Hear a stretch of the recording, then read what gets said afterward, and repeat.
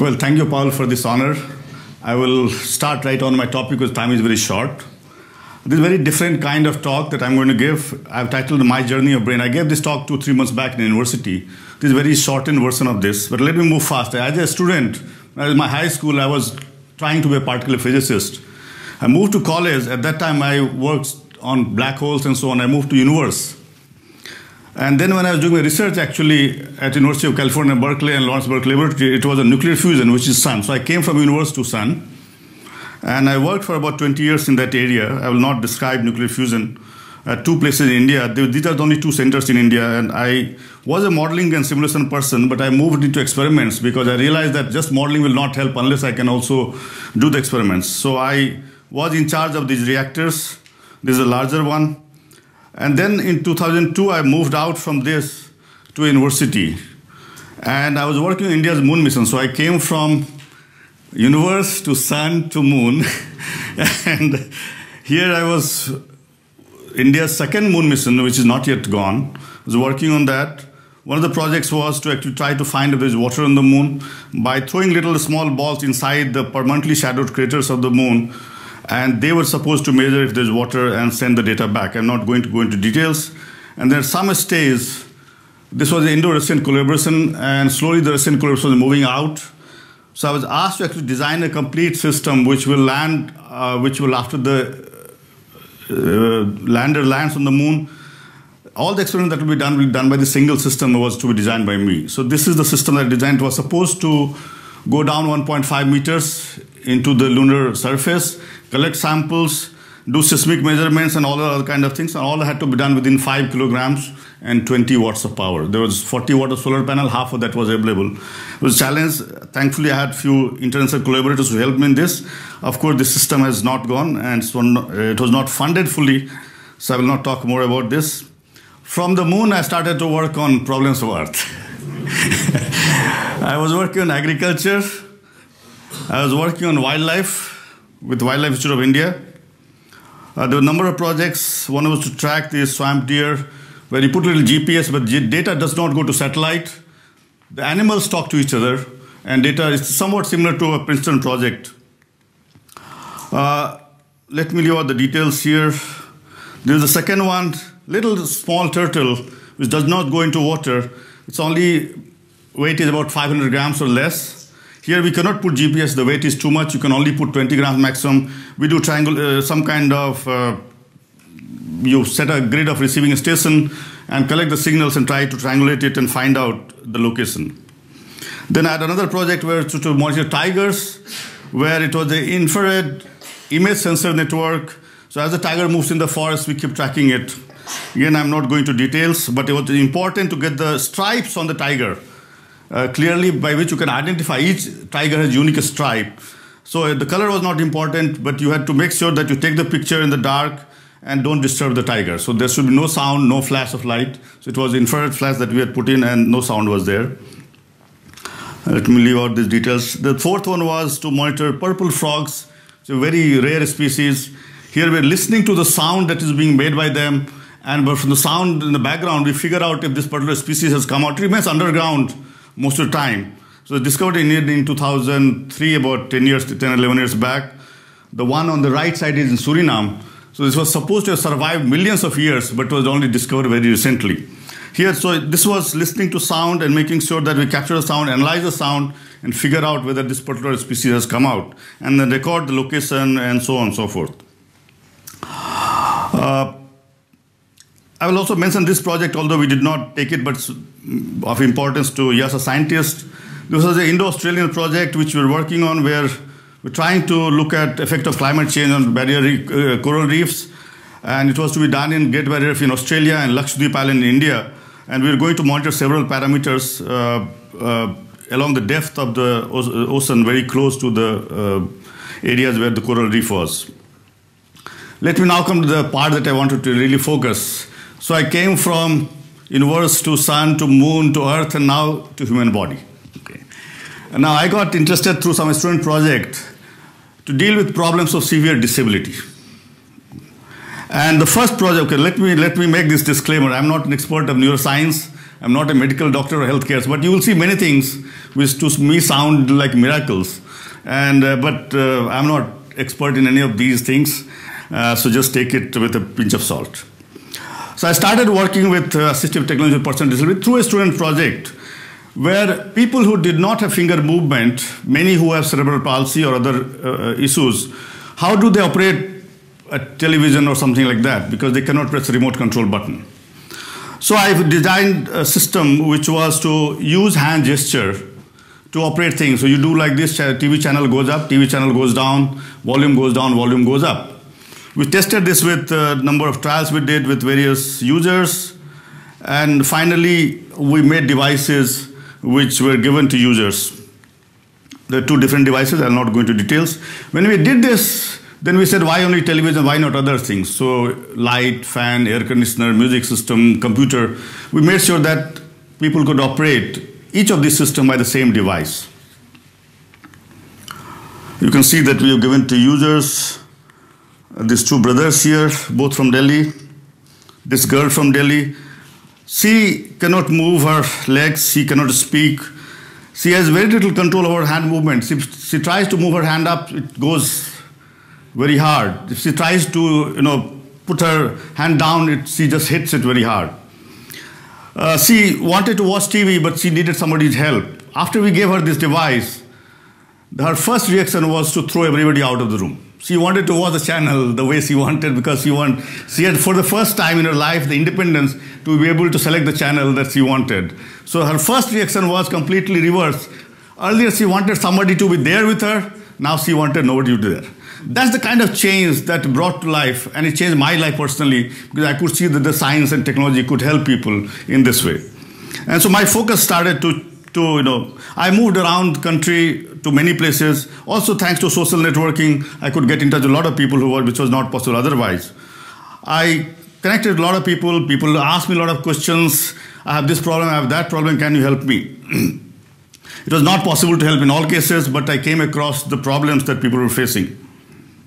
This girl for example she lost both her hand and one leg. She had only one leg. She's an excellent artist. She's got many awards she had a dream that can I drive a wheelchair? Okay. Because she doesn't have hands. So I gave her something that she could operate with her you know, feet. And the joystick was moved here, and she could start to operate this. And the day she received, she immediately went to a temple to pray to God. uh, as I came along with many people, the touch screen technology came along, tablets, mobile phones. So we made sure that many of these could be used. People who are not able to communicate through touch screen they can communicate and so on. I'm not going to go details. One of the problems we found out that Indian languages did not have these systems. So they were available in American English, American context. If you wanted uh, Indian uh, you know, uh, food, you could not do that because there's only burger button to be pressed there. so, so we made sure that you could make it customizable to Indian language or any other language for that matter, any language or any, any, any picture that you can put in there. Uh, and I help many people through these systems. Let me not go into details here. When I was giving these devices, many people came to me, some who did not have hand or could not move hand or did not have voice. They said, what about us? Can you help us? And I saw this slogan in a school that my family runs, count the ability, not the disability. Look at the positive aspects and not the negative aspects. Don't say the person does not have hand, but look at what the person can do rather than what he or she cannot do. So I decided that it, irrespective of what the person is, whatever their ability, let's make sure that they can use that. So on the left side, what you have here is ability, uh, part of the presentation is cut off. Uh, it says hand and leg movement, I could use some technology, head movement, voice, eye movement or eye blink. There was a girl whose mother said that she can only communicate through blink of her eyes or through movement of eyes. Can you help? In certain cases, even that is not their facial expressions or conscious thought or muscle movement, I decided that irrespective, whichever ability you have, we can use technology to make sure that they can perform the task that they desire. The one on the right hand side are the kind of technology that I've used. Uh, the green bullets here mean that they have been given to users. Yellow means they have been done in the lab. And white means we are still working on this.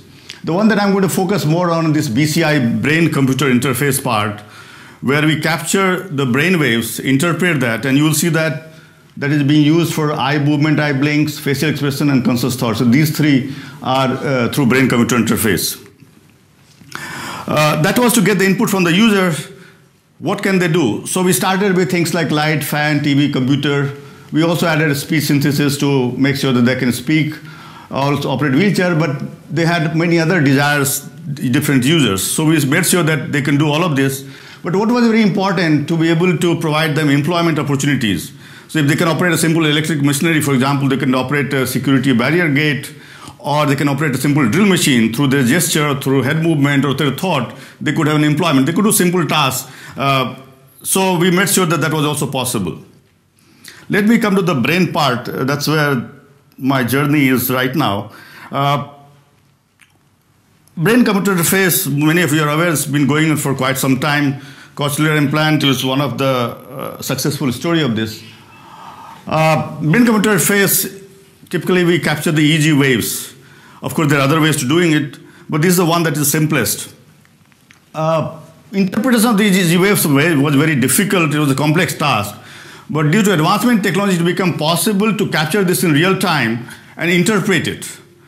The first task that was done with these was to make sure that people can play computer games. So last three, four years, computer games became an important part for development of these. And that made sure that it became cheaper, it became user friendly. So what I thought that can I take advantage of this and help people who are not able to perform tasks or not able to communicate otherwise. And let me leave out the details here, but this is around July 2011 that I demonstrated that through my facial expressions like I could smile and a light bulb will glow or a TV can be operated or through my blink of eyes I can do things. I demonstrated this and then I was looking for users, whom I can help. I talked to various people, hospitals and so on. Finally I came across a gentleman. He is from the, one of the most management, famous management institute in, uh, in India who at a very young age of 32 had a brainstem stroke. And he lost his hand-leg movement, he lost his voice. He could hear and see. He could take input, but he could not express. Only way he could communicate was blink of his eyes. So about two, slightly more than two years, we provided him something through which he could start to, to type on the computer by himself. You will see uh, the video. This is not an edited video. It's just uh, the first video that we had, where what we have done is capturing his head movement and the mouse cursor movement is controlled by the head movement and the blink of his eyes is captured through brain waves and so we give him a uh, on-screen keyboard. He moves the, the cursor and whichever character he wants to type he blinks his eyes. So that way he starts to type on the computer. The first thing that he got to type he wanted to type after 13 years that he could not communicate was his wife's name. Jayasri was short from Jaya J-A-Y-S, he is trying to start typing that name. It took him three to four minutes to type those four letters, but that the beginning had been done. And after that, of course, uh, we improved the system further. Next day, we demonstrated how he could control light and other things by blink of his eyes. You can see this doing it, and look at the happiness in his face. Uh, he's just controlling the light bulb, and you will see a smile on his face. Uh, towards the end of this video, he almost uh, burst into laughter like a small child. Uh, we improved the system further, uh, and he's been regularly writing this. In fact, this is the blog he wrote using this system, I can type. And it was a very hard rendering situation because for 13 years he was not in a position to do anything by himself. Uh, this is another story. Each one of these has a story. This girl was chief animator of a famous uh, movie. And the movie got only one award, that was for animation. The day she gave party, night of that she was hit by a drunk driver when she lost everything suddenly. So from height of glory, she was down. She was in coma for a long time. Finally, when she recovered, she was neck down, paralyzed. Uh, uh, computer was her life as an animator. So within two, three minutes of once I showed her, she started to type. I promised that I'll get her back to animation, whatever condition she is in. Uh, there are many other people. I will skip the, the stories here. Then I had requests from people who are in vegetative state. I think you're missing out the top part of the line. In vegetative state. Oh, sorry. yeah, some, some frequencies. So, how do we capture their, are they understanding us? Uh, So I try to do this. What we try to do in this case is that we capture their brain waves in real time in three dimensions and trying to see if they're responding to us. So if we say something and if their response is consistent, then we can map yes and no to two different things. And there was some work done in, I think, UK. So we looked at that. I've not been successful with this, but I thought I'll share the story anyway. Uh, in fact, one of the last one I was trying this was a ex-vice chancellor of university who had due to stroke, he went into this condition. When I looked at this, all these things, it was very interesting, and I thought that can I identify learning disability in a child before the symptoms appear through school exams and so on? So I looked at the literature and I found that if you can capture beta 1 to theta ratio that's lower, then the child is likely to have learning disability. Okay. Uh, this was based on one scientist's research. So my next question was that can I improve in this condition? It's good to know that, that the person may have learned but can I improve it? So I looked at the various things. The two techniques that came across was brain entrainment and neurofeedback. And I also realized that there are a number of ancient Indian techniques which also help in the same way. Their efficiency may vary from one to other, and I'm not sure right now which one is the more efficient one, unless we do uh, more experiments. But I started to experiment with this. I started to help children in various conditions like Down syndrome, ADD, ADHD, and so on. But I also realized that I can help adults who suffer from insomnia, depression, migraine, all kind of uh, you know, mental health uh, problems without using any medicine. So that was important that normally if I have insomnia, doctors will give me something, they put me to sleep, but I'm adding chemicals to my body which has side effect. So here through audiovisual stimulus, I could enhance the condition of the person and make them feel better. The first person to be helped by, I was a professor, so of course one of the students I helped. And within three days, she, she on my Facebook, she wrote that she's feeling in heaven. Uh, she used to have you know, frequent deep depression uh, situation. I especially this for you, Don, actually, because one of my school seniors, I mentioned this to you, was a child math prodigy and a PhD from Berkeley in 1960s. Late 70s started to show symptoms of schizophrenia. In fact, he went missing for a few years in 1980s, late 1980s, and was discovered uh, doing riffraff, somehow surviving. I met him a few months back, and uh, it was difficult to talk to him because sometime he will talk and sometime we didn't know what he was talking. Uh, it's not very clear here, but there's writing on his wall. I didn't know how to help him. I, because he was not going to be cooperative. I suggested some things, music, I gave some sound stimulus to his family members who used to just play it in the night before he was sleeping. And after some time, they shared with me that he has shown some improvements. He's playing a musical instrument by himself, which they had never expected in last so many years. So a very, very small improvement, but it's an improvement in the right direction. Uh, something strange happened. I suffered a health problem due to gallstone. Uh, many of you might be familiar, there's severe pain. I was asked to do surgery of gallbladder. I decided to look at alternates and learned a naturopathic technique to remove gallstones. This was a book written by German American Andreas Moritz, who came to India at the age of 21 to solve his own health problems. And then since then, he, till he expired last year, he shared this, he's written many books. After I solved my own issue of gallbladder stones which were removed and confirmed by ultrasound, I shared this information with many people. When I read that book, I realized that, that a lot of health conditions, it can help people. And what there was a miracle story. There was a lady with 15 years of severe mental disorder, and I was helping her with brain entrainment. I shared this information with her, and I did not know that's going to help her or not. And this is her own writing. She says, writes that you know she suffered from all kind of problems. She tried everything, but nothing was helping. And she went through this process of doing this cleaning process of her gallbladder and liver. And after that, she recovered from that 15 years of uh, severe mental disorder, all the problems. And she used to have memory, she couldn't retain things in memory, everything came back to her. She could not give exams, she started to give exam. I wrote, shared this is a miracle. But when I thought about it, I realized that our education system, our learning process, is not holistic. We don't look at the food the, the child is eating, the time the child is sleeping. We only look at the, the content being taught in the classrooms and so on exams. So I realized that when this lady for 15 years could not learn, and now this process of cleaning her internal organs brought her back, how can we ignore such aspects from our learning process? So I thought there must be a holistic approach to learning which integrates food, body, and mind into learning process.